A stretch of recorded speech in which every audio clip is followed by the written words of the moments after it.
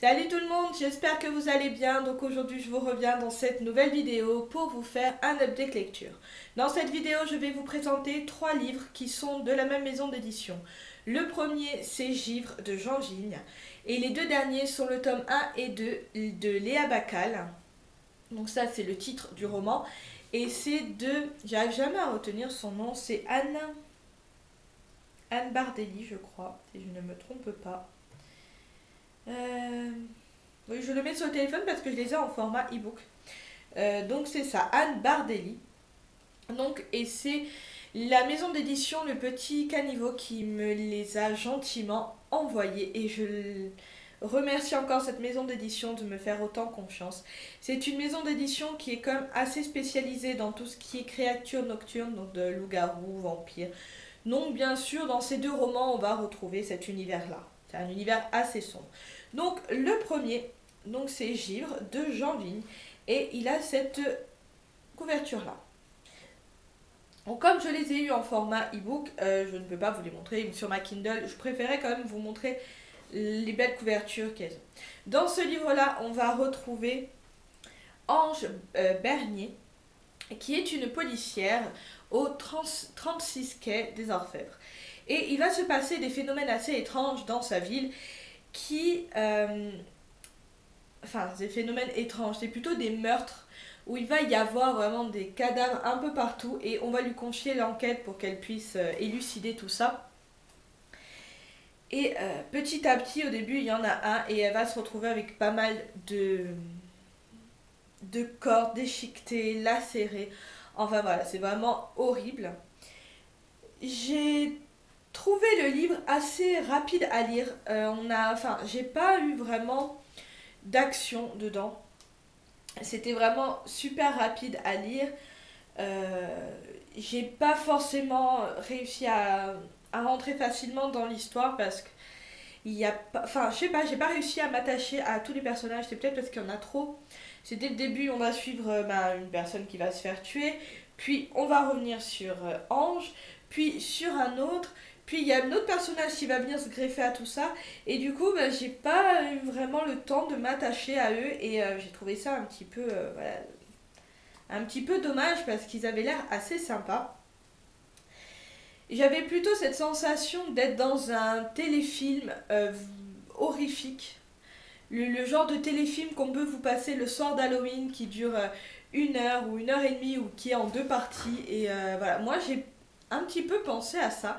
Parce que c'était, euh, voilà, c'est court, rapide, et il y a quand même un petit peu d'action. Voilà, il n'y en a pas énormément, mais euh, voilà.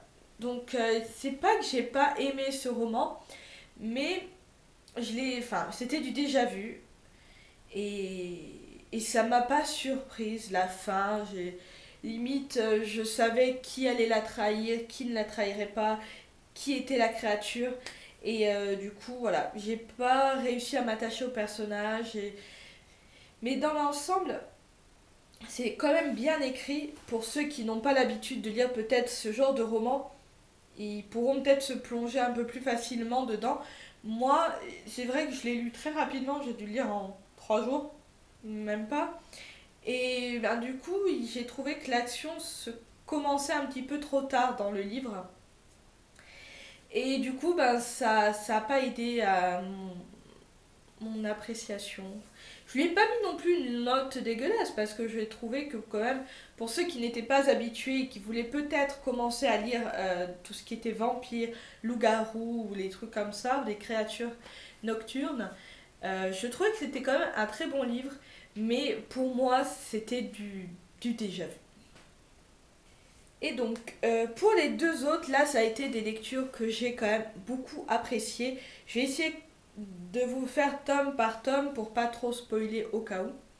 Dans ce tome-là, donc, qui est le tome 1 marqué de euh, Anne Bardelli, qui se présente comme ceci. Alors déjà, je trouve que la couverture, même si elle fait classique, parce qu'il y en a beaucoup dans ce genre-là, je l'ai quand même beaucoup, mais alors beaucoup appréciée. J'aime beaucoup cette couverture-là. Euh, malheureusement, pour le tome 2, je n'ai pas de couverture et euh, je sais pas de date. Je sais pas s'il est déjà sorti ou s'il va sortir. Mais sur Livre Addict, il n'y avait pas, donc du coup, je ne peux pas vous la présenter. Mais donc, le tome 1 se nomme La Marque. Et on va retrouver, enfin, on va retrouver, on va découvrir Léa Bacal, qui est une jeune fille qui rentre de vacances et qui va retrouver toute sa famille massacrée. Et, du coup, ce, ce choc-là va lui faire euh, devenir un peu chasseur de créatures. Car dans cet univers-là, les créatures, tout ce qui est vampire et loup-garou, ou tout ce qui peut être créatures nocturnes, euh, sont connus. Voilà, les êtres humains connaissent ces, créatures-là. Donc, il faut qu'il y ait une unité spéciale dans la police ou, la, ou le FBI, je crois, qui. Comment dire qui traite ces créatures-là au cas où il y ait des conflits pour pas qu'il y ait de morts parmi les humains. Donc euh, voilà, je crois que l'histoire, ça peut se résumer à ça. Donc elle va rentrer dans cette, euh, unité qui est le, le Gear, je crois. Je sais plus du tout le nom de l'unité. Mais voilà, et elle va essayer de trouver quand même la créature euh, qui a tué sa famille. Parce qu'elle a été très très marquée par ce phénomène-là. Ce que j'aime, c'est que dès que vous rentrez dans le, livre, dès que vous l'ouvrez, il y a déjà une scène d'horreur, il y a une scène d'action, il y a vraiment cette... Euh, on rentre de suite dans l'histoire, c'est pas genre il va passer 100 pages où on raconte la vie de Léa Bacal, comment elle est devenue comme ça. Non, non, c'est dès le début, hop, il y a le meurtre et elle va chasser. Voilà. Donc j'ai bien aimé ce, cette rentrée euh, dans l'action euh, très rapide parce que du coup ça nous donne envie de lire très rapidement la suite. Même si euh, malheureusement c'est du déjà vu aussi, euh, c'est bizarre parce que les, trois livres que j'ai lus, j'ai trouvé que c'était du déjà vu. Mais comparé à Givre, j'ai trouvé que c'était. Ça a beau être du déjà vu, mais il a quand même réussi. Enfin, elle, parce que c'est une fille, euh, elle a quand même réussi à, à créer son propre univers et du coup à me permettre d'apprécier ce roman plus que le premier que j'ai lu. Les personnages sont super attachants même si Léa a ce caractère un petit peu dur, euh, elle a ce côté quand même un petit peu tendre. Il y a un autre personnage qui va arriver par la suite, euh, mais du coup je ne vous dirai pas son nom. Euh, quoique je peux le dire, je sais pas. Bon, je vous le dis, et au cas où, je marque spoil, hein, je dirais qu'il y a du spoil parce que je vais en dire quand même que je sais pas en fait si c'est du spoil, mais il faut que je vous en parle, donc du coup, je préfère préciser que si vous n'avez pas vu, lu ce livre, bah voilà, n'allez pas jusque-là peut-être. J'ai peur de trop vous, en raconter. Donc il y a le personnage d'Hunter qui va arriver, qui va faire son apparition, le beau gosse, euh, qui va lui sauver la vie quelquefois. Et ces deux-là, j'ai trouvé ça trop, trop, trop touchant.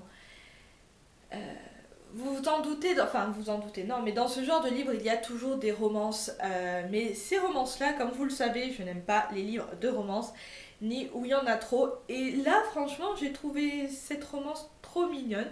Donc du coup, ça ne m'a pas du tout euh, dérangé. Pour ce qui est de l'aventure générale, j'ai apprécié mener l'enquête avec elle.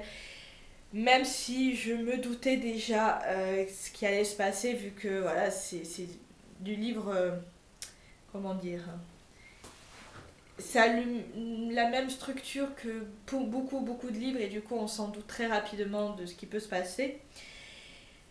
Mais dans l'ensemble, j'ai beaucoup adoré cette histoire. Donc pour le tome 2, j'ai... Euh, je l'ai lu dans la foulée. Dès que j'ai fini le tome 1, j'ai vu, j'avais le tome 2, je l'ai fini.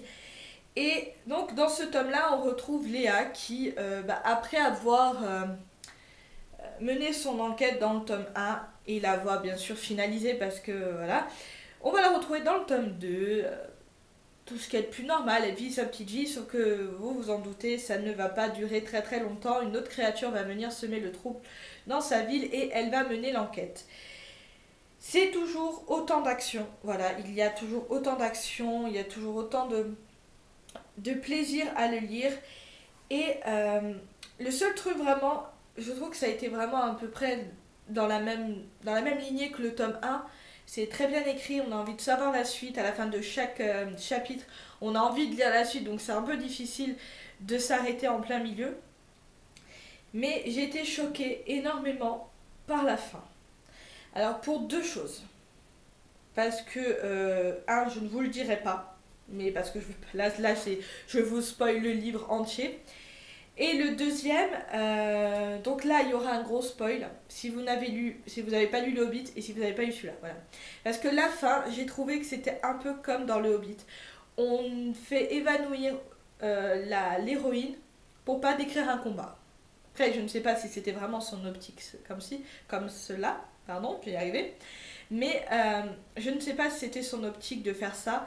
Mais moi j'ai trouvé que c'était comme le Hobbit parce que dans le Hobbit, on a la fin où euh, Bilbon se fait euh, assommer et on ne voit pas le combat. Voilà. Et là, c'est pareil. On a le début du combat, elle se fait assommer et hop, elle se réveille deux mois plus tard. Donc, j'ai trouvé que c'était un petit peu de la facilité pour pas décrire le combat, mais peut-être que ce, n'était pas ça. Au fil du livre, on arrive quand même à s'attacher à, ces, deux ces deux personnages principaux. Et du coup, euh, bah, j'ai été un petit peu malheureuse, voilà. Il y a un petit événement qui fait que. Voilà, c'est malheureux. Et. Mais voilà, leur, les personnages sont super attachants, l'histoire est attachante. Et franchement, j'ai hâte. Enfin, j'espère qu'il y aura un tome 3 parce que. Il n'y a pas vraiment de. de, de... C'est ces livres-là, je pense que, bon, on peut pas les lire euh, chacun séparément, mais même si on les lit, si on commence par le tome 2, ça ne dérange pas trop parce qu'il n'y a pas vraiment de spoil, ça raconte pas vraiment ce qui se passe dans le tome 1, même s'il y a des petits euh, retours en arrière. Mais dans l'ensemble, j'ai trouvé que c'était un livre euh, facile à lire, enfin les deux. C'était des livres faciles à lire, où on rentre de suite dans l'action, où il ne se passe pas un chapitre sans qu'il y ait des révélations ou de l'action. Donc si vous aimez ce genre de livre euh, un ces vampires, euh, il y a des deux, il y a du vampire, il y a du loup-garou. Si vous aimez ce genre de livre, je vous le conseille à 200%. J'ai adoré ma lecture, je les ai lus, mais euh, peut-être en deux semaines parce que j'ai le boulot entre temps, mais je pense que si j'avais, j'étais en vacances, je les aurais lus très très vite, car je n'avais qu'une hâte, c'était de rentrer et lire, ou d'avoir ma pause et de lire un petit chapitre. Et du coup, voilà, c'est j'ai vraiment vraiment hâte de lire ce tome 3, enfin le tome 3, si un jour il y en a et j'espère. Euh, et j'espère que la maison d'édition me, me l'enverra. Mais sinon, je pense que s'il ne me l'envoie pas, ben, je l'achèterai parce que euh, franchement, j'ai adoré cette histoire-là et j'ai hâte de savoir s'il va y avoir une suite. Donc voilà, j'espère que cette vidéo vous aura plu. N'hésitez pas à me dire si vous avez lu ben, un de ces livres. Et je remercie encore euh, la maison d'édition Le Petit Caniveau. Le Petit Caveau. C'est Caniveau ou Caveau? Je sais jamais. À chaque fois, j'ai un gros bug. Caveau, pas Caniveau. Hein. Caniveau, c'est un peu spécial. Mais le petit caveau, euh, de me faire autant confiance et de m'envoyer euh, ces e-books-là. Donc voilà, j'espère que cette vidéo vous aura plu. N'hésitez pas à liker, à vous abonner et à avoir du plaisir à me regarder. Et euh, donc voilà, je vous fais de gros gros gros bisous et je vous dis à très bientôt. Ciao ciao